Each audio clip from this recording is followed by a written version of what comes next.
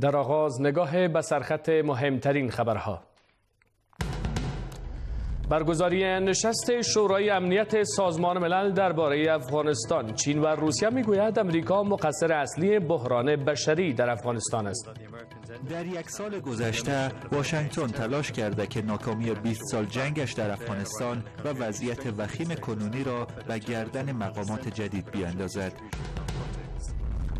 جمعآوری 151 میلیارد افغانی اواید در یک سال گذشته. وزارت مالیه گفته تنها در شش ماه گذشته بالغ بر 74 میلیارد افغانی اواید جمعآوری کردند. و پایان درگیری های چندین ساعته در بغداد پایتخت عراق. در این درگیری ها دست کم سی نفر کشته و صدها تن دیگر زخمی شدند. ملت عراق تنها متضرر بزرگ تحولات اخیر است. کشور ما حالا اسیر فساد و در عین حال اسیر وحشت آفرینی شده است. بسم الله الرحمن الرحیم. سلام بینندگان عزیز. به بسته خبری این ساعت با من سید رضا مبارز. خوش آمدید. و حالا مشروع خبرها. حکومت فردا چهارشنبه را به مناسبت خروج نیروهای آمریکایی از افغانستان رخصتی عمومی اعلام کرده شماره از مقامهای حکومتی هم می‌گویند امریکا و متحدانش شکست سنگین در افغانستان خورده و شبانه پا به فرار گذاشتند. در همین حال شماره از شهروندان نیز گفتند از نبود نیروهای نظامی خارجی خرسند هستند اما حکومت باید برای بیرون شدن از وضعیت کنونی تن به خواستهای مردم و جهان بدهد. زمینه کار را فراهم کند. محمد اسلام بهنوش با شرح بیشتر این خبر. این اعلامیه وزارت کار و امور اجتماعی که در آن فردا چهارشنبه را رخصتی عمومی اعلام کرده است. تعطیلی به مناسبت خروج آخرین سرباز امریکایی پس از 20 سال حضور در افغانستان.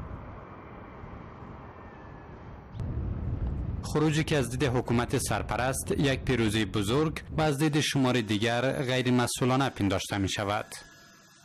روسا از افغانستان به شرایط برآمدن نه به قید زمان مسئولانه برآمدن. امریکا با سقوط دولت افغانستان برآمد. به قید زمان برآمد غیر مسئولانه برآمد. حالات فقر و بدبختی و شرایطی که فعلا آمده همه ناشی از عدم مسئولیت امریکا و برآمدنشان از افغانستان به طور بودن که افغانستان به حال گذاشتن اینجا هم در گوشه از پایتخت شهرداری کابل با برگزاری برنامه های تفریحی نمایش حرکت های ورزشی و ترانخانی خروج نیروهای امریکایی را گرامی داشت. در کنار 28 اسد سال روز استرداد استقلال افغانستان حالا از نهم سنبله سال روز خروج نیروهای امریکا از افغانستان هم به عنوان روز استقلال از سوی حاکمان جدید افغانستان تلقی می شود. روزی که امروز اینجا از آن گرامی داشت شد. خدای مراوله. سخنرانان در این نشست گفتند امریکا و متحدانش در افغانستان شکست خورده و شبانگاه پا به فرار گذاشتند. په نظامی جنگ کې کافران ناکام شول ماتې رسما ومنله.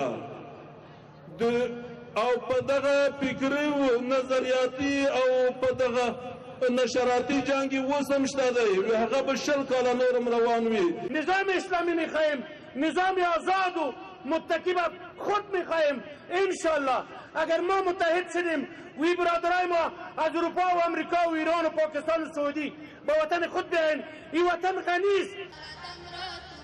از سوی هم شهروندان از خروج نیروهای امریکایی خوشحالند. می‌گویند اکنون زمانی ترقی فرا رسیده و سران کابل باید زمینه کار و تعلیم دختران را فراهم ساخته و حکومت فراگیر تشکیل دهند. از امارات اسلامی خواهش ما این است که دیگر چی نسل جوان است چه کترای ماست کرد دعوت کنند با پاشینه واز در آغوش بگیرند یک حکومت فراگیر یک حکومت فامیلی دیگه مورد نظر همه مردم افغان ساخته شود اینجا در اولین سالگرد خروج نیروهای امریکایی از افغانستان گفته شد افغانستان در حال حاضر مستقل است. این صحبت ها در حال صورت می گیرد که هر از گاهی هواپیماهای بدون سرنشین امریکایی در فضای افغانستان گشتزنی می کند محمد اسلام بهنوش تلویزیون تمدن کابل. شورای امنیت سازمان ملل نشست را در مورد وضعیت افغانستان برگزار کرد. در این نشست چین و روسیه از موقف حکومت فیلی افغانستان ستایش و امریکا را عامل بحران کنونی در افغانستان دانستند. نماینده امریکا اما در واکنش گفت سیاست های حاکمان فیلی افغانستان باعث سرکوب و گرسنگی مردم افغانستان شده است. نماینده هند نیز در این نشست حملات تروریستی بر اقلیت ها در افغانستان را بسیار نگران کننده خواند. با این حال نصیر احمد فائق سرپرست نمایندگی افغانستان در سازمان ملل می‌گوید تشکیل حکومت فراگیر تنها راه نجات افغانستان از بحرانهای کنونی است. افغانستان محور بحث اعضای شورای امنیت سازمان ملل. نشسته که چین و روسیه از کارکرد حکومت سرپرست افغانستان حمایت اما امریکا از آن انتقاد کرد. نماینده روسیه در این نشست گفت امریکا نباید تقصیر بحران کنونی را به گردن حاکمان فعلی افغانستان بیندازد نماینده چین هم با ستایش از دستاوردهای حکومت سرپرست افغانستان مخالفت کشورهای غربی با تمدید معافیت سفر سران کابل را غیر معقول دانست. در یک سال گذشته واشنگتن تلاش کرده که ناکامی 20 سال جنگش در افغانستان و وضعیت وخیم کنونی را به گردن مقامات جدید بیاندازد. امریکا به جای بازسازی و پرداخت قرامت منابع مالی بانک مرکزی افغانستان را مسدود کرده است. حکومت موقت افغانستان در یک سال گذشته توانسته است وضعیت امنیتی را به طور قابل ملاحظه بهبود بخشد. و گفتگوهای سیاسی را با اقدامات چون برگزاری لویجرگه در کشور تقویت کند. مخالفت با تمدید معافیت سفر غیر معقول است.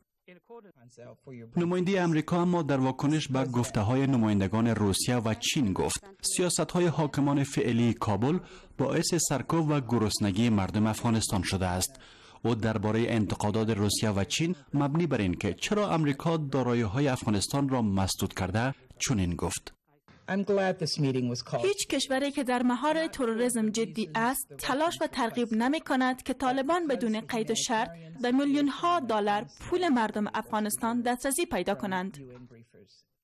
نماینده امریکا همچنین با اشاره به ترور ایمن زواهری گفت.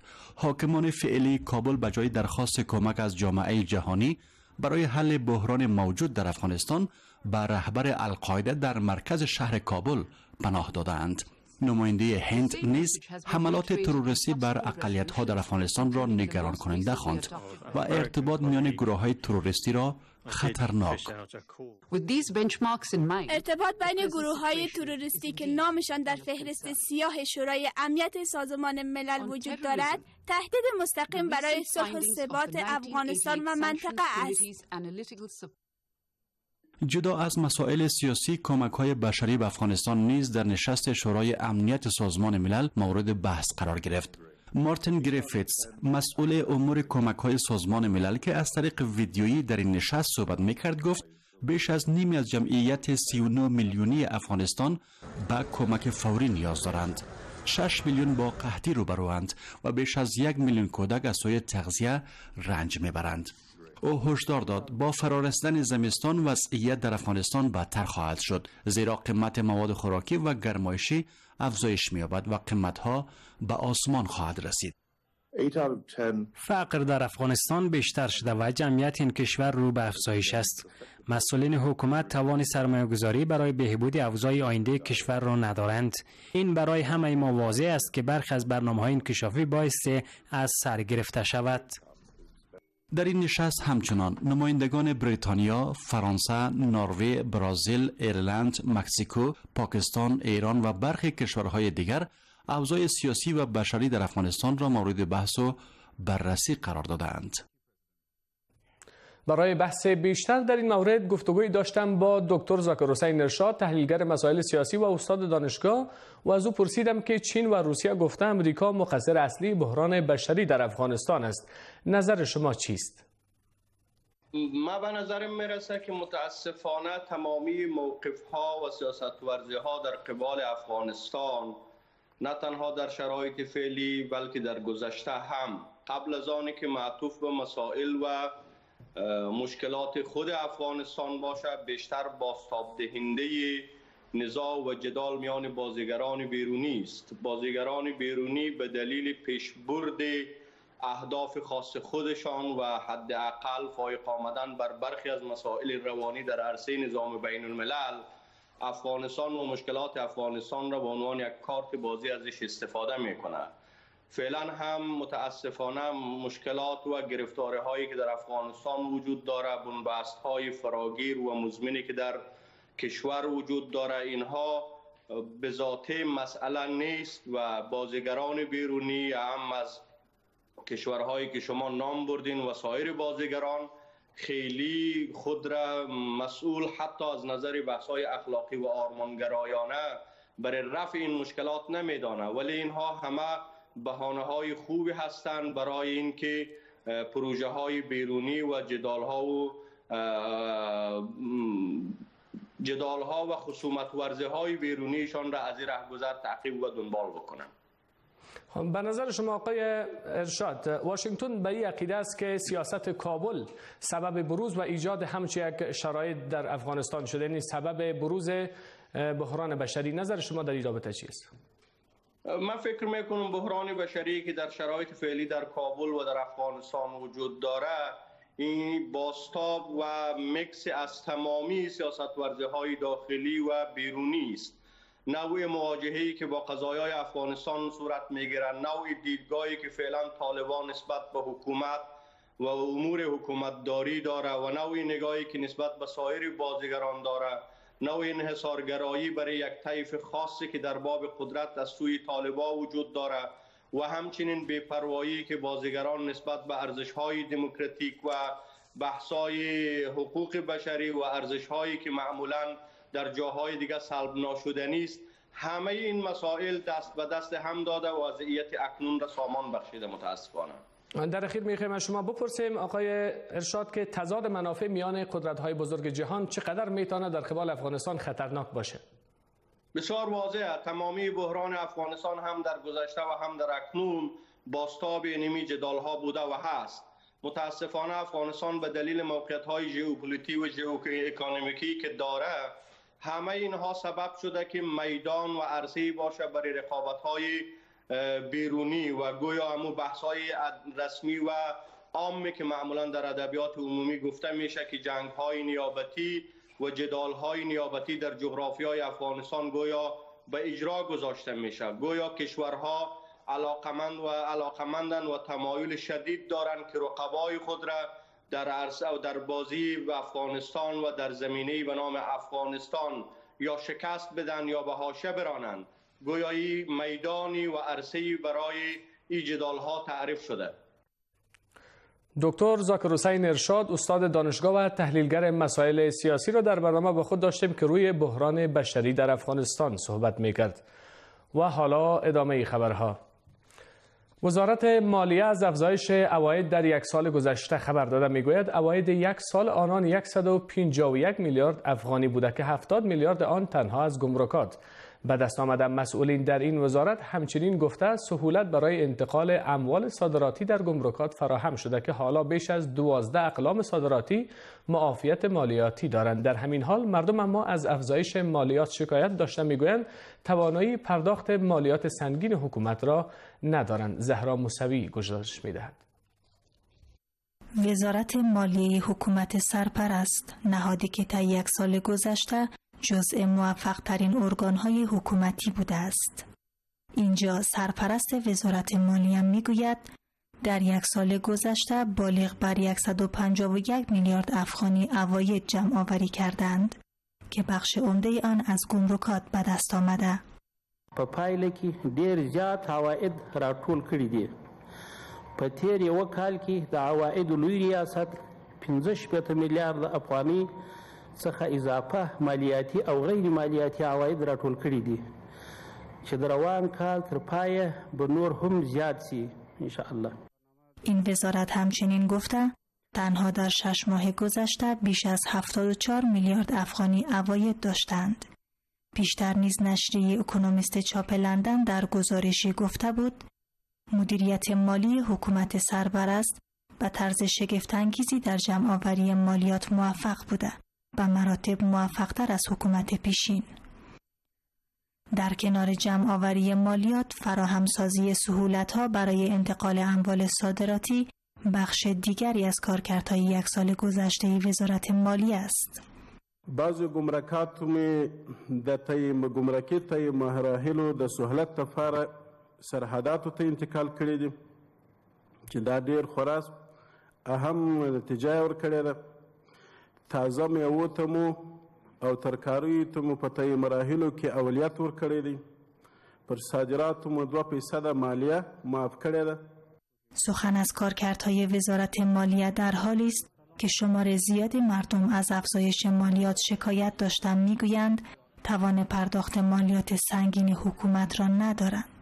ما از مالیات سابقه راضی نیستیم به خاطر کاربار کم شده. سابق ما ما کرای خمی دادیم مال نیمه ما سه ماه کرای دکان قرضدار هستیم به خاطر شاگرد است کرای برق است کرای دکان است. دیگه آید کم است مصرف زیاد باید ما از امارات اسلامی افغانستان تقاضا می‌کنیم که مالیات کم کنه. نظر ما درباره مالیاتی است که دولت باید توجه کنه چون بازار اقتصاد مردم خراب و بازار نیست.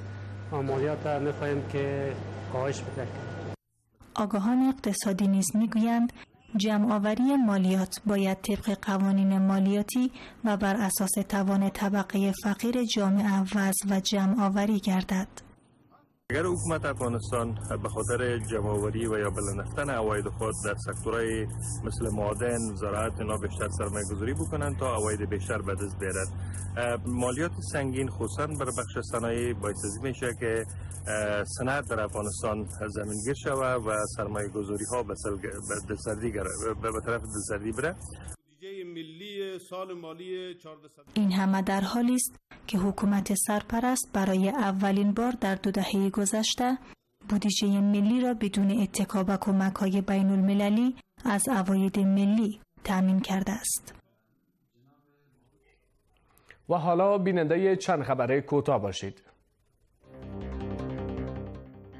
مقامات حکومت سرپرست به رویترز گفتند مذاکرات با مقامات روسی بر سر خرید نفت از این کشور در مراحل پایانی خود قرار دارد. سخنگوی وزارت اقتصاد نیز گفته هیئت رسمی کابل به مسکو سفر کرده تا قرارداد خرید گندم و مواد سوختی از روسیه را نهایی کند. گفته شده که های دو طرف روی متن قرارداد کار کرده و کابل روی خرید مواد نفتی از مسکو به توافق رسیده است.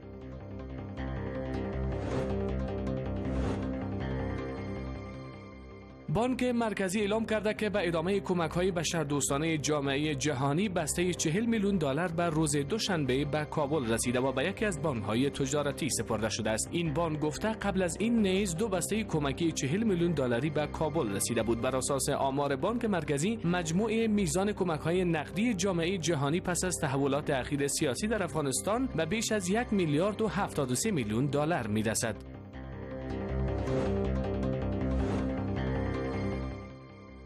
شماری از شهروندان کابل با انتقاد از حکومت سرپرست می‌گویند در پی صادرات زغال سنگ به پاکستان های این مواد سوختی در داخل کشور. افزایش یافته از فروشندگان زغال سنگ نیز گفتند بهای زغال سنگ نسبت به سال گذشته دو برابر شده. در همین حال وزارت معادن و پترولیم می‌گوید افزایش بهای تیل دیزل و پترول در جهان بر بهای زغال سنگ نیز تاثیر گذاشته است. پس از نزدیک به 24 ساعت درگیری خونین در عراق طرفداران مقتدا صدر منطقه سبز بغداد را ترک کردند. درگیری اصر دیروز با یورش طرفداران مقتدا صدر به کاخ ریاست جمهوری عراق آغاز شد و تا ظهر امروز ادامه یافت. در این درگیری ها دست کم سی نفر کشته و بیش از 300 تن دیگر زخمی شدند. مقتدا صدر رهبر جریان صدر عراق در یک نشست خبری از مردم عراق عذرخواهی کرد و قاتل و مقتول را گنهکار خواند. این تصاویر از درگیری های دیشب عراق. درگیری های پراکنده با شلیک های پیهم گلوله. تنش ها در عراق اصل دیروز و پس از کنارگیری مقتدا صدر رهبر جریان صدر از عرصه سیاست آغاز شد. طرفداران صدر به کاخ ریاست جمهوری یورش بردند و لحظات کنترل مقر ریاست جمهوری را به دست گرفتند.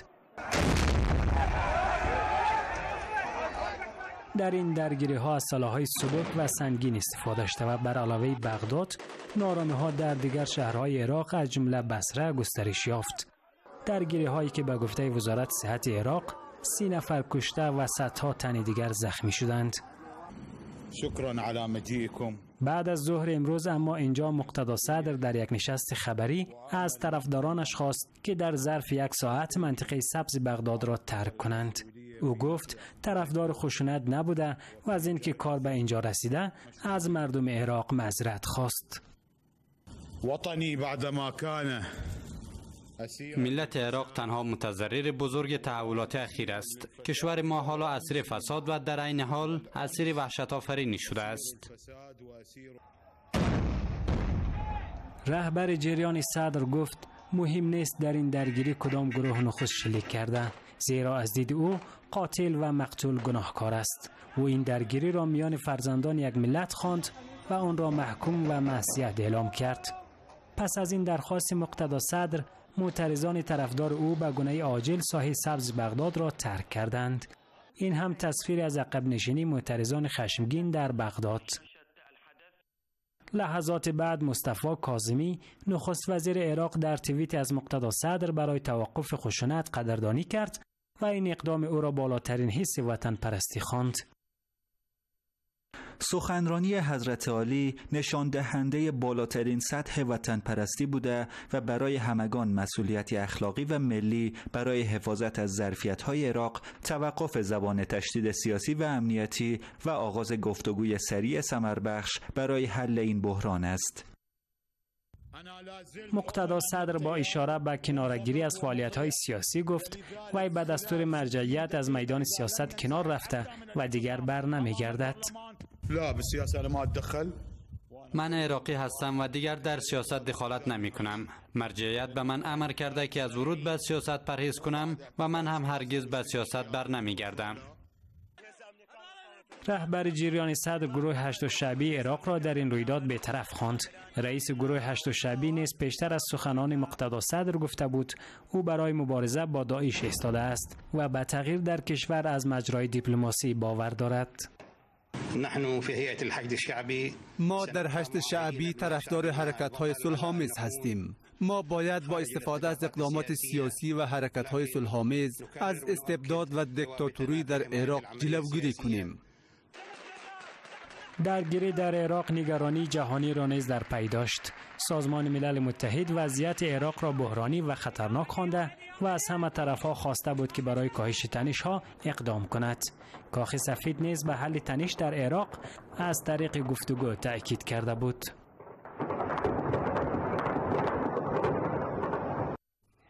وزارت صنعت و تجارت از افزایش میزان صادرات به خارج از کشور خبر می‌دهد سرپرست این وزارت می‌گوید در یک سال گذشته بیش از یک میلیارد و 364 میلیون دلار تولیدات داخلی افغانستان به خارج صادر شده و تاکید می کند که تلاش ها برای جلب سرمایه گذاری خارجی در بخش صنعت، زراعت و معدن نیز جریان دارد که تا حالا بیش از 100 شرکت خارجی جواز سرمایه گذاری را اخذ کردند. زبیح الله شریفی با جزئیات بیشتر خوشبینی حکومت سرپرست نسبت به گسترش روابط اقتصادی و جلب سرمایهگذاری خارجی در کشور. سرپرست وزارت صنعت و تجارت با ارائه گزارش یک ساله این وزارت اعلام کرد که با وجود تحولات سیاسی در کشور علاقمندان متشبسین داخلی و خارجی برای تجارت و سرمایهگذاری در افغانستان وجود دارد. چنانچه در یک سال گذشته 6300 جواز جدید تجاری و سرمایه‌گذاری صادر شده است. متشبسین داخلی ما، سرمایه‌گذارای داخلی ما و خارجی ما امید از دارند که در افغانستان سرمایه‌گذاری بکنند و در افغانستان در بخش صنعت و زراعت و معادن کار بکنند و تجارت بکنند. بنابر آمارهای وزارت صنعت و تجارت میزان صادرات افغانستان در یک سال گذشته نیز افزایش یافته. بر اساس این آمارها در یک سال گذشته به ارزش یک میلیارد و 364 میلیون دلار به خارج صادر شده است. افزایش تعداد پارک های صنعتی در برخی ولایات از دیگر برنامه های وزارت صنعت و تجارت است. در حال حاضر 14 پارک صنعتی در کشور فعال است. 10 پارک صنعتی زیر کار و 14 پارک صنعتی دیگر پلان شده که در آینده در ولایات مختلف ایجاد خواهد شد. لس صنعتي پارکونه تر کار لاندې دي هغه اوس کار پې روان دی په مختلفو ولایتونو کې چې هغه جوړ کړو دي او خلکو ته د کارونو د پارکونو د فابریکو د فرارزه کوشي تر څو فابریکې کې جوړ شي البته در ماهای اخیر علاقمندی برخی کشورها برای سرمایه‌گذاری در بخش معدن افغانستان نیز بیشتر شده. حالا آگاهان می‌گویند حکومت سرپرست باید با پالیسی منظم زمینه سرمایه‌گذاری را فراهم کند که به منافع دو طرف منجر شود. با یک پالیسی های متفاوت کوتاه مدت، میان مدت و دراز مدت. با کشور روسیه معاملات اقتصادی خود به پیش ببره از این لحاظ شما ترس نداشته باشین. بلکه به فایده تان است به ترس تان نیست او زمان به ترس است که ما را مطلق انحصار بسازه. تحریم حالا یک مشکل جدی فرارای سرمایه گذاری شرکت های بزرگ خارجی در افغانستان است زیرا معاملات پولی از طریق بانک های افغانستان انجام نمی شود آگاهان معتقدند که پس از تشکیل حکومت فراگیر و رفع تحریم های غرب افغانستان مسیر پیشرفتی واقعی را در پیش خواهد گرفت. شماره از نیروهای استخبارات ولایت بامیان پس از یکونیم ماه آموزش صبح امروز مراسم فراغتشان را برگزار کردند سرپرست ریاست استخبارات بامیان می‌گوید از این نیروها به منظور تأمین امنیت بهتر بامیان و همچنین جلوگیری از قاچاق مواد مخدر در این ولایت استفاده می شود. مراسم فراغت 60 تن از نیروهای استخبارات بامیان پس از یکونیم ماه آموزش در بخشهای نظامی و اعتقادی. مسئولین ریاست استخبارات بامیان می‌گویند به منظور تأمین امنیت بهتر این ولایت قرار است افراد بیشتر را در بخشهای اعتقادی و نظامی آموزش دهند. تقریبا 60 نفر. شما فعلا مانورایشان دیدین که به حساب نظامی به حساب عقیدتی یا تعلیمی یافتند دیگه انشالله 60 نفر هستند تعداد اینیا. اینیا فقط در خدمت اموطنان عزیز ما هستند خصوصا در ولایت بامیان. انشالله شب روز ما در خدمت مردم شریف مجاهد بامیان هستیم. به خاطر تامین امنیت سرتاسری ولایت بامیان. عمدهترین مأموریت این افراد جلوگیری از فعالیت‌های مخرب و مبارزه با مواد مخدر در این ولایت است. موادی که کشف آن در بامیان تقریبا صفر است. مثلا در یک جایی که مثلا یک جایی که خلاف کار باشه در اونجا بریم بسیار با وجه احسن اونها را گرفتاری بکنیم و در اینجا تک نگاه خیلی موفق نظامی را توسط استادان خود در اینجا چی کردیم؟ ما آموختیم. از هر نگاهی که باشه ما در نظامی باشه انشالله پیش می‌بریم. تقریبا سه چهار کارخانه ده به خاطر ساخت و ساز شیشه و پودر بود که از طرف المند انتقال کرده بود به ولایت بامیان. ما دمروی از اونا را گرفتیم اونا را خونسا ساختیم. با این حال این نخستین دور است که 60 تن از نیروهای امنیتی پس از فرا گرفتن آموزش های نظامی فعالیتشان را آغاز می کنند.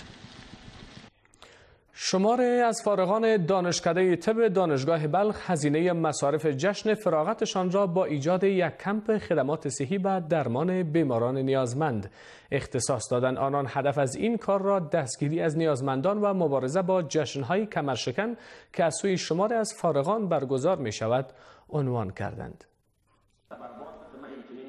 دانشجویانی که پس از سالها زحمت و تلاش امروز در اینجا جشن فراغت گرفتند می‌گویند مصارف هنگفت جشن فراغت را برای درمان بیماران فقیر و نیازمند اختصاص دادند.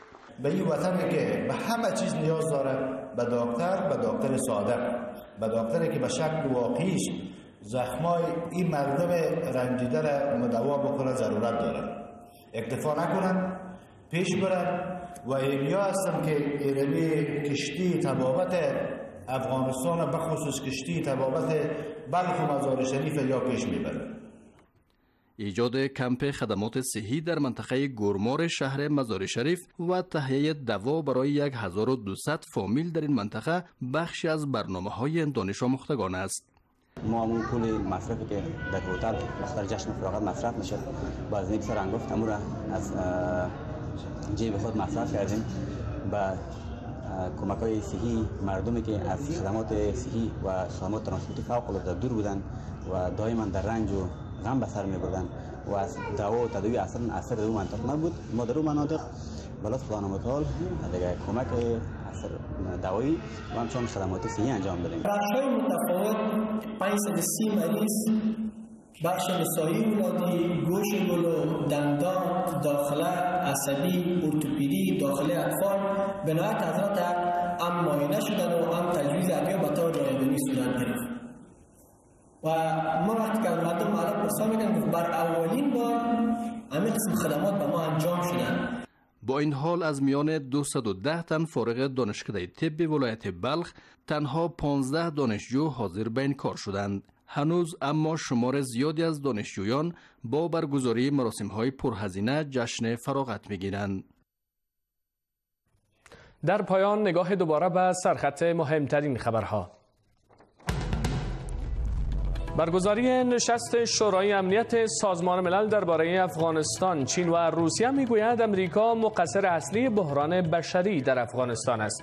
در یک سال گذشته واشنگتن تلاش کرده که ناکامی 20 سال جنگش در افغانستان و وضعیت وخیم کنونی را به گردن مقامات جدید بیاندازد.